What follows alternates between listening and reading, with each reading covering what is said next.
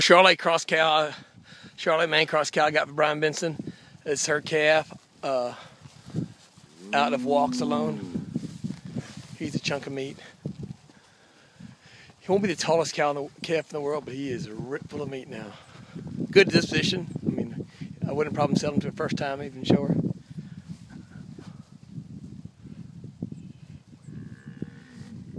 A little chunk of meat.